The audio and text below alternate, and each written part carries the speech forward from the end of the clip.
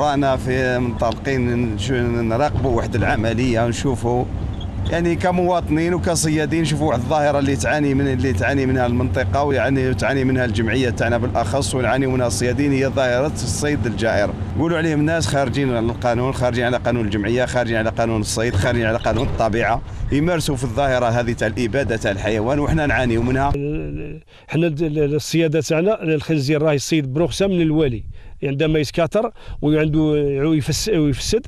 راه عنده رخصة من عند الوالي من سيده الوالي اللي مد الرخصة بالتنظيم من مع محافظة الغابات. قامت المحافظة بتكوين خمس دفعات لصالح 25 جمعية صيد متواجدة على مستوى الولاية تحصلوا خلالها على 520 آه، رخصة الصيد.